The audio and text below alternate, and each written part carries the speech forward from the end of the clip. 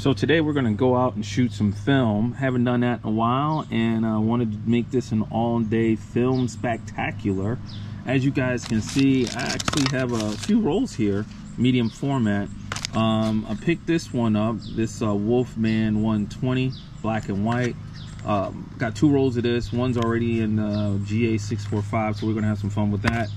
And then I picked up three rolls from a place in Pittsburgh that have that were expired. They had a little trough of expired film, so we're gonna give it a go. Honestly, guys, I don't know how this is gonna go. This one is 22 years old. Uh, this Ektachrome. So at 100 speed, at, at, a stop per decade, that's like ISO. That's ISO 25 if I'm thinking about that right. That means I would have to put my camera on a tripod. I don't know if I'm gonna do that. This Orwo here, um, it's a black and white film, uh, and I really can't find the expiration date anywhere if uh, this is the let's see here if this is the expiration date right there if that's the expiration date um, that mean I don't know what that means. So I can't find anything. I'm gonna try to do a little research before I put that in the camera.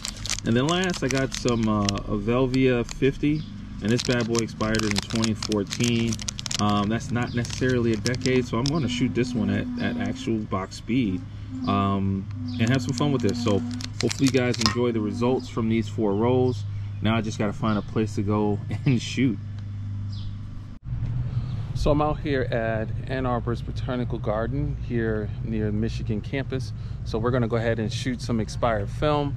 Uh, as you can see, I got it set up on a tripod so that I can be able to get appropriate um, steadiness with the, the speed that I'll have to shoot some of these films at. Um, I have the Wolf man in here first.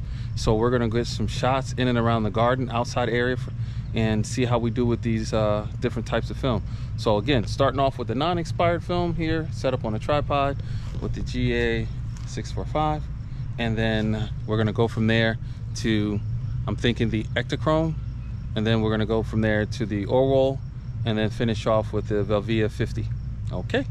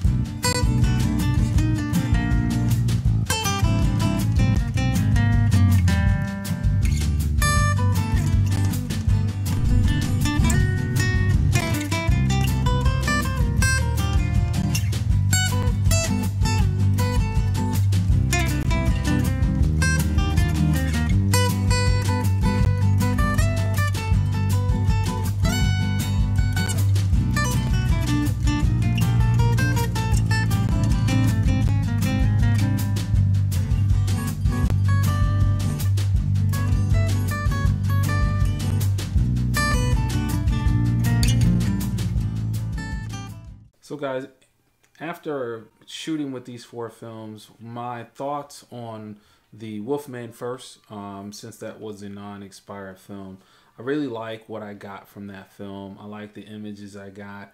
I like the colors and tones that it got. Uh, I think the GA645 did a great job with that film. and I'm glad I got two rolls of it. I'll be looking forward to using that again for some street photography for sure. And when I get an opportunity to be up in, I believe it's Waterford, Michigan, I think that's where I got that from. I'll look to get some more, if not, try to get some online. The next one, as you guys saw, I went ahead and did the Orwo. That was the oldest of the films. Uh, it expired in 1988.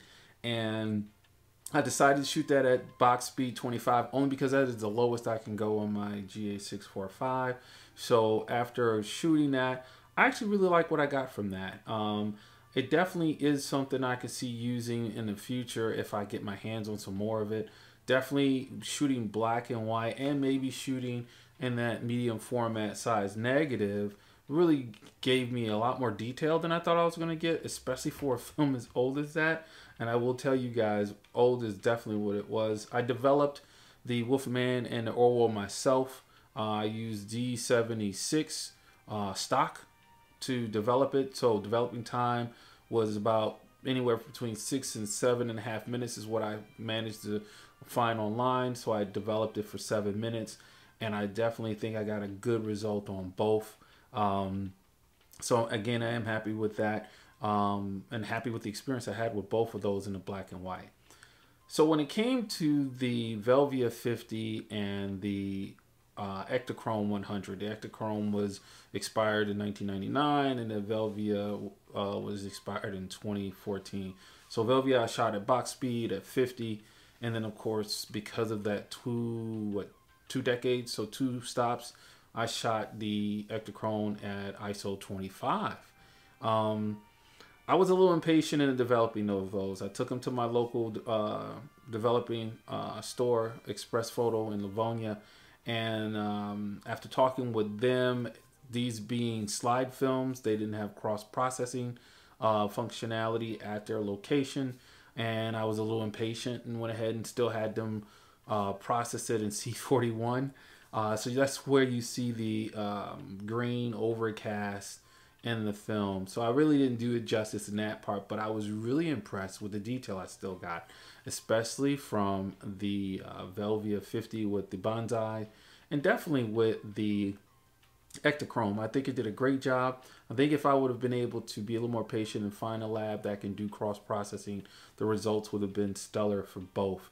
So if again I get my hands on some expired film of Velvia 50 or Ektachrome, I'll look to basically do the right processing for it and get hopefully as good as a result I got with these, even though I didn't follow the right processing procedure and had it developed in C41. So all in all, very happy with this experience with the expired film. Very happy with the Wolfman. I will honestly say I think shooting expired film in 120 format for me is probably the way to go. I can't say that I enjoyed it as much with the 35, um, and that might just be my patience. I'm not 100% sure, but I, I did like what I got here. So hopefully you guys did. Hopefully you're enjoying the videos as well.